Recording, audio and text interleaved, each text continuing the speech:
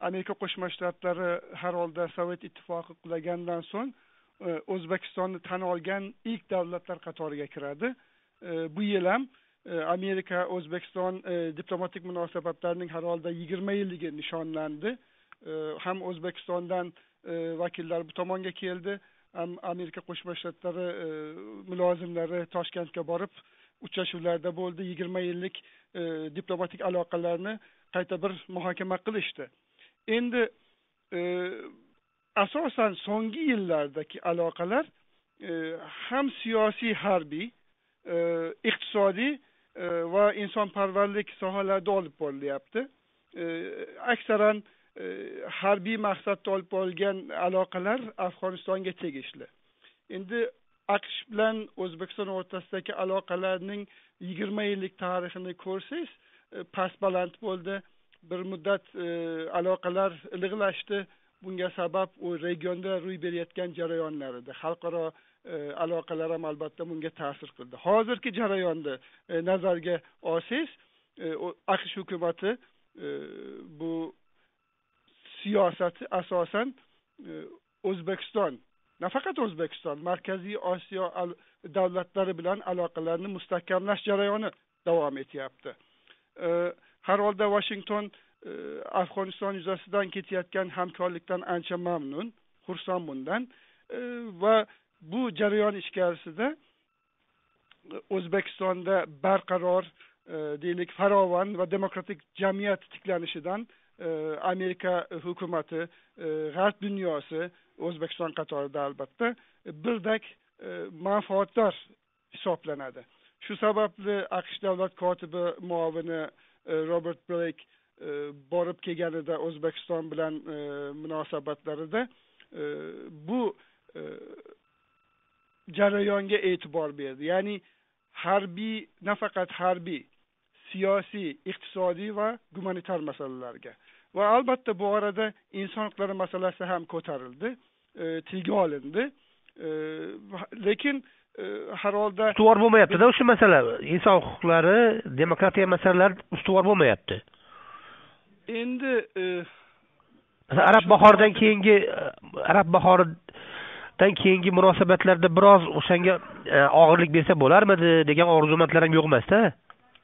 Endi albatta e, bu orzu niyatlar sizni tomonidan yoki o'zbekiston muxolifati tomonidan tez tez tilga olinadi aqsh hukumati buni esdan chiqargani yo'q. Inson huquqlari masalasiga doim e'tibor beradi. Lekin e, aqsh hukumati bilan o'zbekiston o'rtasidagi munosabatlarga e'tibor bersangiz e, o'zbekiston e, hozir aqsh hukumatini tashqi siyosatda muhim bir element emas. Buni nazarga nazar tashlash kerakda markaziy osiyo nega muhim hozir aqsh hukumati uchun? Endi buni siz e, muxolifat e, nomidan gapirganda boshqa e, ta'riflab berasiz. Davlat hukumat vakillari boshqacha ta'riflab beradi. Lekin afg'oniston masalasini nazarga olganingizda aqsh hukumati o'zbekiston va markaziy osiyo bilan aloqalarni mustahkamlash muhim ekanligiga urg'u beryapti. Mana yigirma yil davomida turli partiyalar o'zbek nimada e, amerikada hukmronlik bo'ldi. Mana demokratlar keldi respublikachilar keldi va tashqi siyosatda bu o'zgarish bo'ladimi? Ya'ni e, iqtidorni o'zgarishi amerikada. E, bu vashingtonda yashagan bir o'zbek sifatida shuni aytib berishim mumkin. Aqsh tashqi siyosatida o'zbekistonning o'rni uncha katta emas. Ya'ni biz bir o'zbek sifatida nega bunday deb e, savol berishimizga haqlimiz. E, lekin aqsh e, jahon miqyosidagi jarayonlarni e, nazarga olsa o'zbekiston kichkina bir tomchi bu tashqi siyosatning. Va albatta imkoniyatlar bor e, lekin e, balki munosabatlar e, imkoniyatidan hali to'liq foydalanilmayapti. E, lekin e, balki hamkorlikni yanada kuchaytirish e, yo'llari bordir.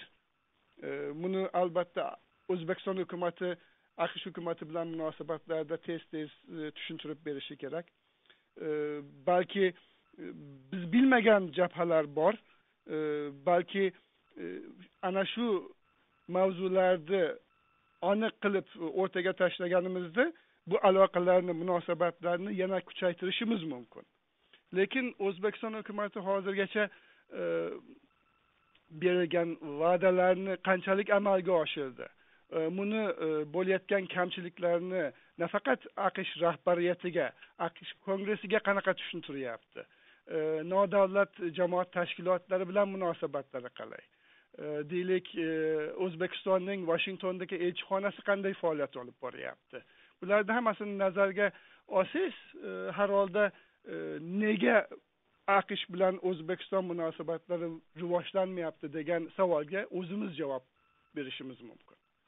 Endi o'zbekistonda ro'y berayotgan e, jarayonlarni e, albatta muxolifat boshqacha talqin qiladi va albatta davlat hukumat hozir hokimiyatdagi e, davlat boshqacha talqin qiladi.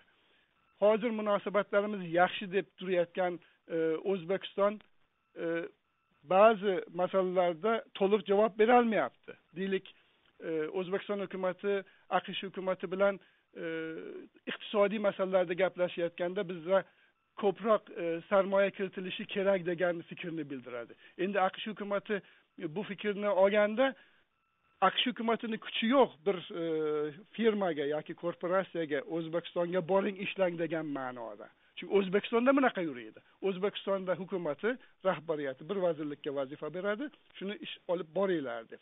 Ho'p e, firmalarga ham shunday. Shirkatlar endi bu firmalar mustaqil qanchalik mustaqil? Ularning yirik qismi hukumat tomonidan boshqarilgan davlat tomonidan boshqarilgan firmalar. E, aqsh hukumati yoki g'arb dunyosida bunaqa emas. Albatta e, aqsh hukumati mulozimlari o'zbekistonga borganda o'zbekistondagi iqtisodiy imkoniyatlarni tanishtirib bersangiz o'rtadagi kamchiliklarni yo'qotsangiz har holda e, tashqi dunyodagi firmalar shirkatlar e, korporatsiyalar o'zbekistonga borishga qiziqadi deydi. Lekin kamchiliklar hali hal qilingan emas. Ertangi kuni haqida tasavvuringiz qanaqa? Ya'ni o'zbekiston amerika munosabatlari chunki e, mana man farhod tolipov bilan gaplashdim u aytyaptiki qoniqarli lekin yanada yaxshiroq bo'lsa yaxshi deganday gap aytdida.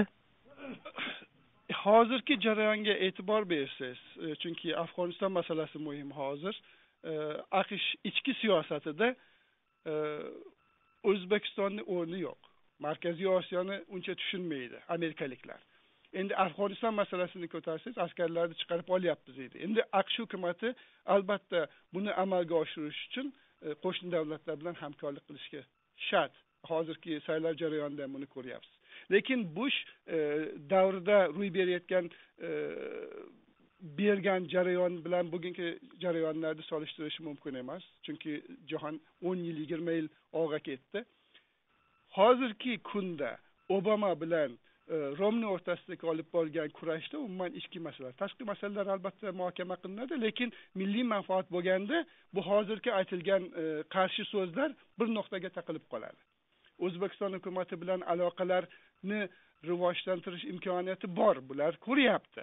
Lekin bu imkoniyatlarni yana ochilishi o'zbekiston qo'lida. Aqsh hukumatini qo'lida emas aqsh hukumati iloji boricha harakat qilyapti yaqinlashishga. Lekin o'zbekiston hukumatini ham ichki ham tashqi siyosati sababli. Endi bunda qandaydir bir ya'ni qarz ikki qo'ldan chiqmayapti. Ya'ni chapak chalinishi uchun ikkita qo'l urish kerakda. Shunaqa bo'lmayapti demoqchisiz a e, shuni demoqchimanki ikki tomon ham bir qandaydir bir e, nuqtaga kelish intilishi bor deb ko'ryapman men shaxsan. Lekin e, albatta o'zbekistonni uzoq yillar boshqarib turgan qandaydir qo'shni rossiyaning siyosatini nazarga olish kerak. Xitoyning e, siyosatini nazarga olish kerak.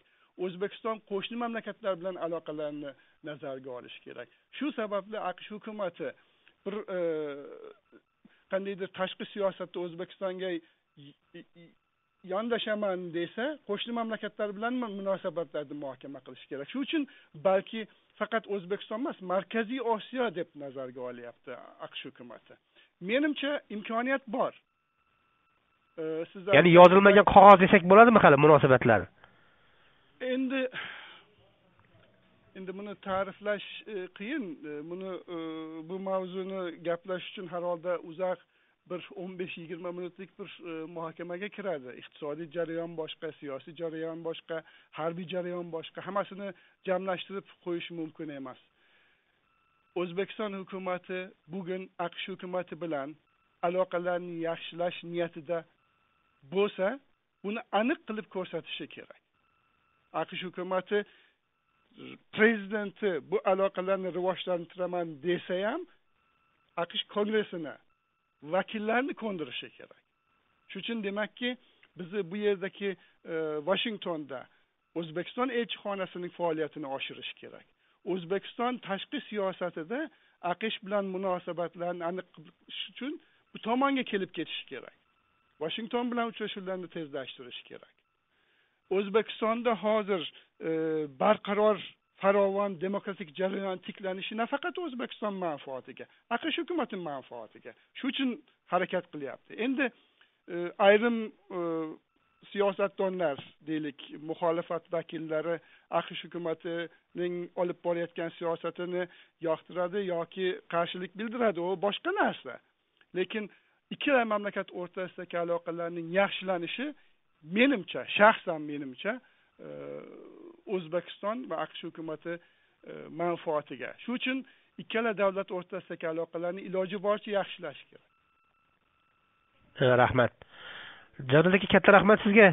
Yo'q arzimaydi. Endi sog' bo'ling. gaplashish uchun alohida bir uzoq bir muddat o'tirib birma bir gaplash kerakda. Umum jamlashib jamlab qo'ysangiz E, tushuntirish qiyin. E, tushundim tushundim. Ya'ni tushundimki o'zbekiston amerika qo'shma shtatlar tashqi siyosatida eng birinchi o'rin tutmaydi. Masalan falastinchalik o'rin tutmaydi. Yo'q. Endi e, yaqin sharqda bo'layotgan jarayonlarga e'tibor bersangiz markaziy osiyo bugun bir tomchi aqsh tashqi siyosati endi bitta yo'l ya'ni afg'onistondan o'sha zambaraklarni qaytarib olib kelish uchun bitta yo'lak. Ya'ni shu yo'lak yaxshi turgani yaxshi supurib sidirilib turgani yaxshi faqatgina e, afg'oniston masalasini nazarga olmaslik kerak. Endi hozirgi jarayonda e, aqsh hukumati osiyo davlatlari bilan aloqalarni rivojlantirishga harakat qilyapti. Endi e, xitoy bilan aloqasi yaxshi deylik rossiya bilan aloqasi yaxshi markaziy osiyo bilan aloqasi albatta yaxshi bo'ladi. Ya'ni tashqi siyosatda qandaydir o'zbek bo'la turib men chet eldagi amerikada yashayotgan bir o'zbek bo'la turib albatta o'zbekiston bilan aloqalari yaxshi bo'lsin deb xohlayman.